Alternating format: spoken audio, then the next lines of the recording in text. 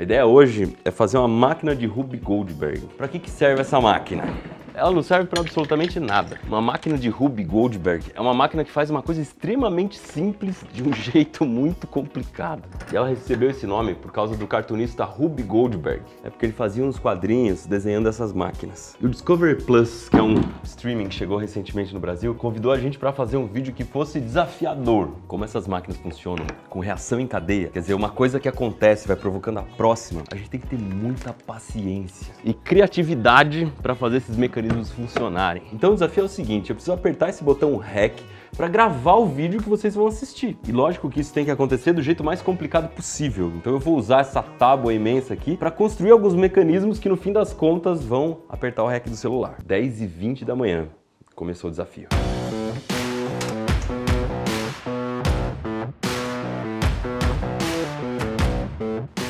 Salsicha é uma das poucas coisas que consegue ativar o touch do celular. Como é que eu construo uma estrutura para fazer a salsicha clicar no REC aqui?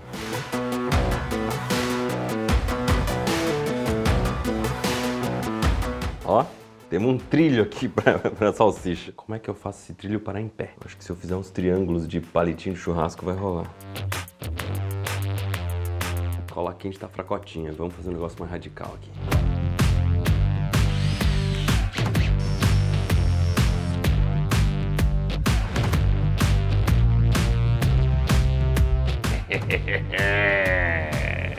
o sisteminha para apertar o botão tá pronto. Você percebeu que eu estou construindo de trás para frente, né? Porque o contrário seria praticamente impossível. Alguma coisa precisa cair para puxar esse botão.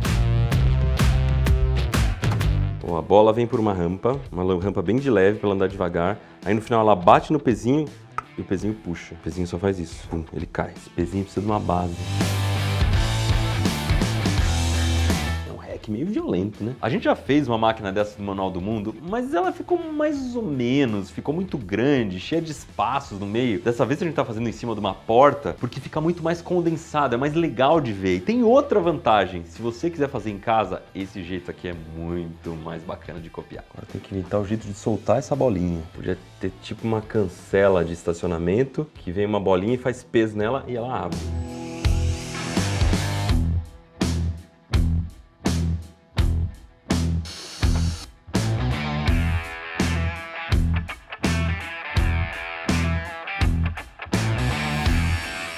Preciso de um apoio para o martelo. Olha só, achei o ponto de equilíbrio do martelo, quer dizer, quase ponto de equilíbrio do martelo. Colei a madeirinha para ajudar ali, só que agora ela deixa a porteira sempre aberta. Errei no peso aqui.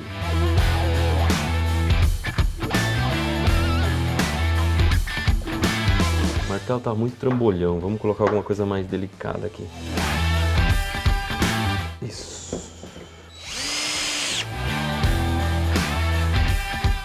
Como é que eu armo a ratoeira agora? Ficou travado.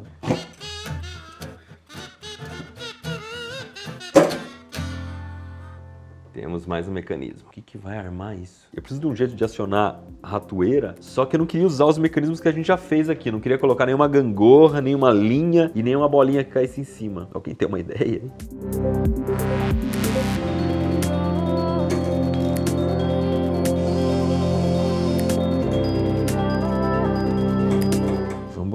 Peso aqui para esse palito não quicar, ele tem que cair e ficar. Fazer uma máquina de Ruby Goldberg precisa ter muita paciência, precisa testar, testar, testar até a gente conseguir o que quer. Como tudo na vida, né? Queria dar um jeito disso aqui ficar lento, senão a máquina vai acontecer tudo muito rápido. Tem que, tem que ser devagar para ficar bonito. A ideia aqui é que esse giro atrase a queda do negócio. Der o atrito tá aqui, tem alguma dificuldade para girar isso aqui. Como é que se atrasa uma gangorra? Ó, tá muito rápido. Não dá pra ver direito o que acontece. A ratoeira quebrou a cancela que solta a bola. Meu, a gente não pode desistir das coisas no começo, porque geralmente as coisas dão errado é no começo mesmo. É igual aquela série nova, exclusiva da Discovery Plus, Sete Chances Para. Conta a história da Nina, que é uma menina que desistia das coisas sempre no começo. Até que ela achou um livro, um livro de aventuras que a bisavó dela escreveu, e nesse livro contava que você, quando tem, tá fazendo alguma coisa nova, tem que dar sete chances para essa coisa antes de desistir. Então eu tô dando a primeira chance aqui para esse negócio que tá acontecendo tudo muito rápido. A gente tem que fazer a máquina Então vamos dar mais uma chance para nossa máquina aqui. Vamos tentar fazer com que as coisas aconteçam mais devagar para ficar mais bonito.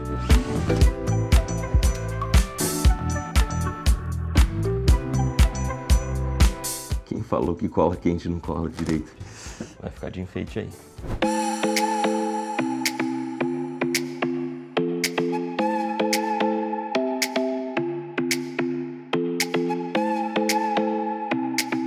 Suporte para essa rampa.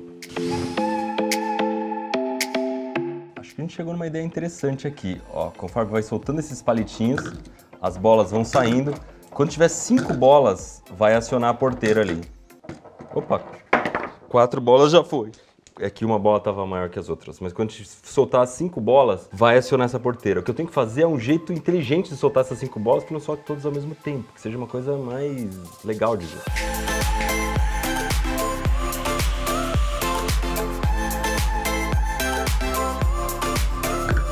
Que legal. Em algum momento a gente solta aqui, o peso puxa, gira e aí puxa isso aqui. Tá enroscando o negócio aqui.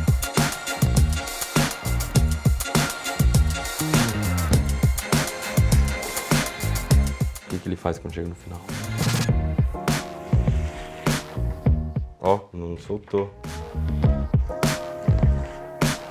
Acho que agora vai.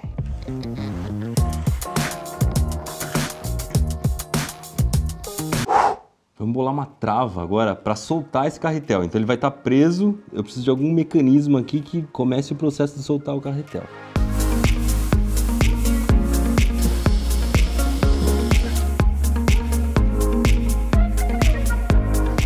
Vai ser a rampinha que vai fazer a bola descer, que vai acionar a roda. Fazer uma rampa bem leve, que é para a bola descer devagar.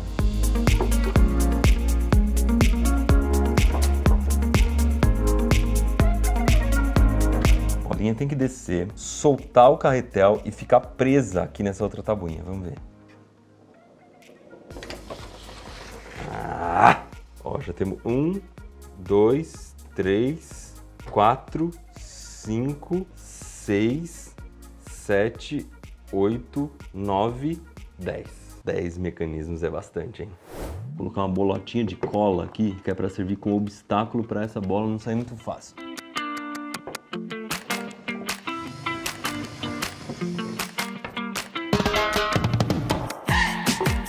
Dos segredos desse negócio é que tudo tem que ser acionado por um movimento muito pequenininho. Então olha só esse dedo aqui, vou colocar bem devagar aqui e ele já solta a bolinha. A bolinha que vai acionar lá na frente, eu quero que ela venha daqui. Só que tem um problema, ela vai cruzar com o caminho desse peso. Então eu tenho que fazer meio que a bolinha pular uma rampa para não ter nada no caminho do peso. Vai ser o vão da rampa, depois ela cai num outro trilho e bate aqui. Achei um negócio mais legal do que essa madeirinha, vai fazer uma curva mais orgânica aqui. Bonita trajetória, hein? Vou tentar fazer um pinball aqui.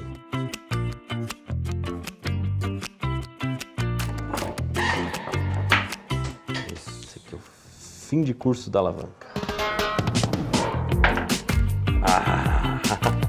Percebeu que tem que colocar uns obstáculos para não desencadear o processo inteiro, senão eu tô lascado. Vamos bolar um negócio para soltar a bolinha lá de cima. Tô pensando numa roda que tem uma pazinha que solta a bolinha. Já derrubou tanta bolinha que eu não tenho uma bolinha grande para testar aqui. Tem uma ali atrás. Consegui fazer um sisteminha aqui que solta a bolinha e vai para lá. Olha só.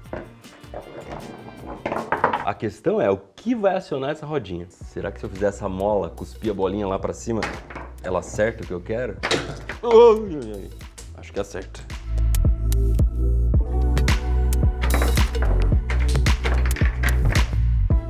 Vocês estão achando que só esse vídeo é assim? Coisa dando errado é todo santo dia aqui no Manobro. Caiu no chão. Não só caiu, como ela tá vazando.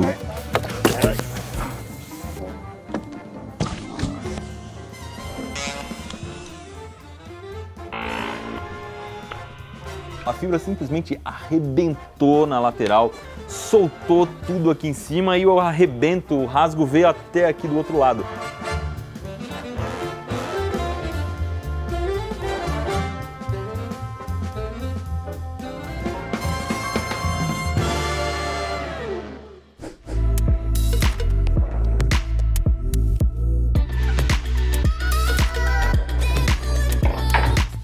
Super fixação de palitos. Amarra e depois bota um pinguinho de super cola.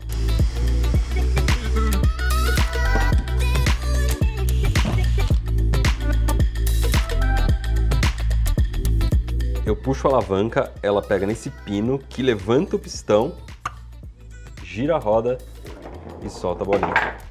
Podia fazer uma tirolesa que descesse aqui, fizesse isso aqui descer. A bola aciona legal essa alavanca, o problema é que ela vai ter que ficar no meio de onde já tem um monte de coisa, tá ficando muito concentrada a máquina nesse ponto aqui.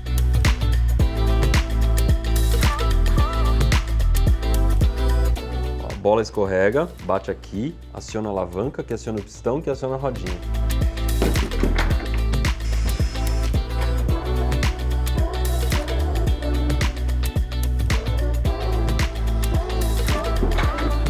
Prender a bolinha 8 aqui no começo da rampa, eu vou usar uma lixa. Assim ela fica bem estável também. Eu ainda acho que tudo está acontecendo muito rápido. Vou tentar fazer um jeito de atrasar um pouco essa bola que dá o salto aqui. Tive uma ideia. E se essa bolinha, ela soltar uma outra bolinha que está lá em cima? Pum, solta uma bolinha que está aqui. E essa bolinha. Vamos proteger isso aqui para a bolinha não bater nessa alavanca.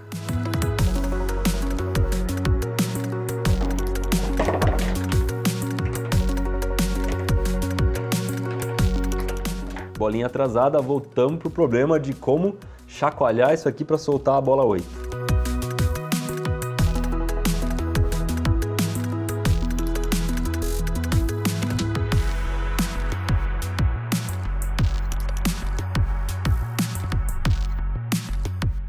Não tá fazendo a bolinha soltar não, a pancada é muito pequena.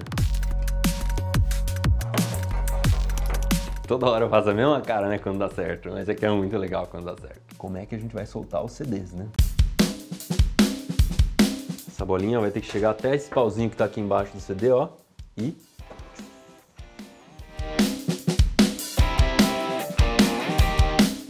Isso aqui foi sorte, hein? Eram aquelas forminhas que a gente fez para construir os blocos da casa de cimento. E sobrou um monte, virou pista de bolinha na Ruby Goldberg Machine.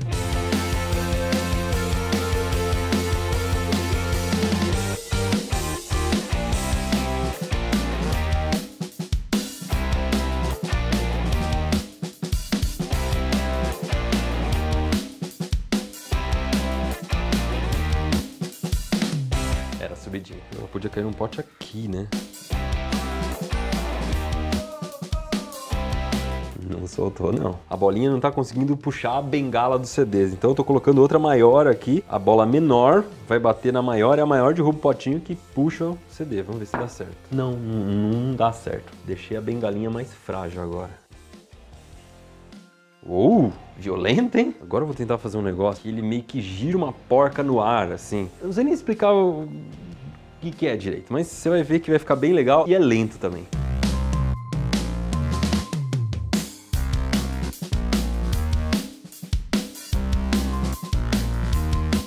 Bonito, hein? Vamos combinar. Começa o jogo lá, aí ela passa de algum jeito por aqui e ela vai acionar esse negócio. De algum jeito eu vou ter que conectar depois com o que solta a bolinha aqui. Esse negócio tá baixando por algum motivo. Não sei, se tá envergando para baixo, enfim. Vou fazer um estirante aqui. Assim ele não vai ceder, ó. Como que vai soltar essa porquinha agora, hein?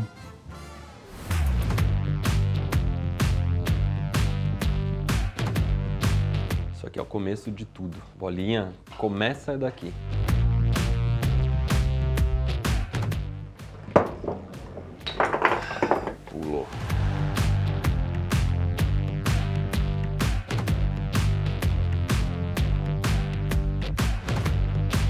Porca vem, vai bater numa madeirinha, libera a bola, a bola desce aqui, faz... E de algum jeito essa bola vai ter que liberar a bolinha que tá aqui, e aí começa tudo.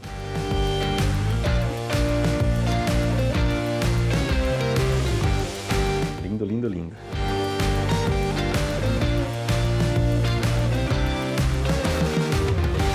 Vamos testar o último mecanismo aqui.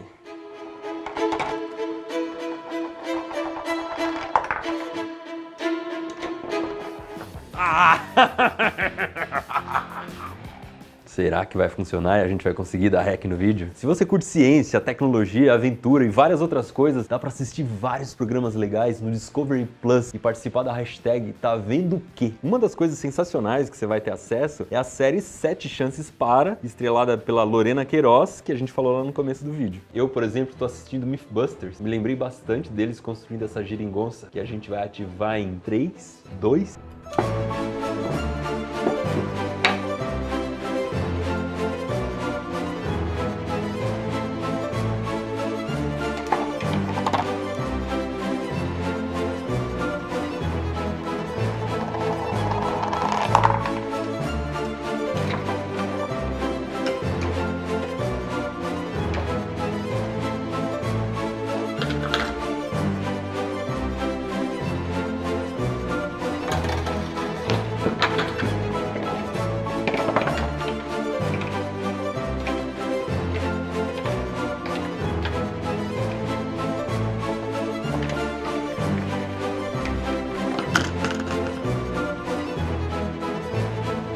Hoje a gente vai fazer uma Ruby Goldberg Machine. Dá um trabalho,